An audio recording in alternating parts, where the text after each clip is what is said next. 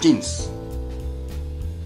Los jeans, la mezclilla en general ha venido a ocupar un papel no solamente protagónico, sino imbatible en la vestimenta tanto masculina como femenina. Es prácticamente imposible evitarlo. No hay manera de que otro tipo de prendas ocupen el lugar que ocupan hoy por hoy los jeans o pantalones de mezclilla, tanto en hombre como en mujer.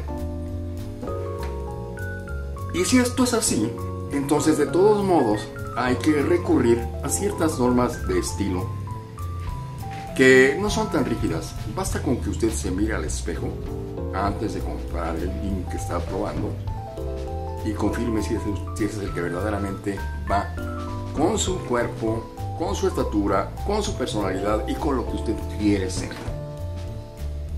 Los jeans skinny, se lo digo por esto, porque los jeans skinny, la verdad de las cosas es que solamente se ven bien en personas muy delgadas y de preferencia altas.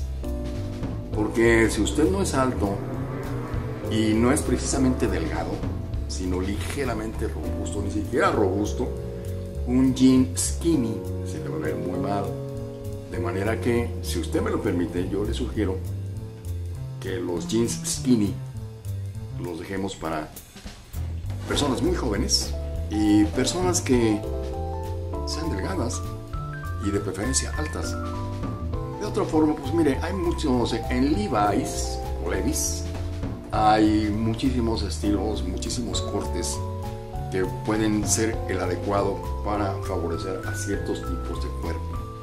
Puede usted asesorarse junto con los vendedores de esos jeans y obtener una asesoría correcta, una asesoría adecuada para que usted luzca bien, se vea mejor y sobre todo para que la ropa juegue el papel que tiene que jugar, que es justamente resaltar la personalidad y la figura de usted.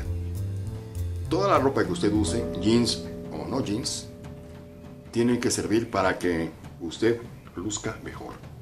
Usted decide si quiere verse más alto, más delgado, con aspecto marcial, con aspecto juvenil, con aspecto militar, como usted quiera.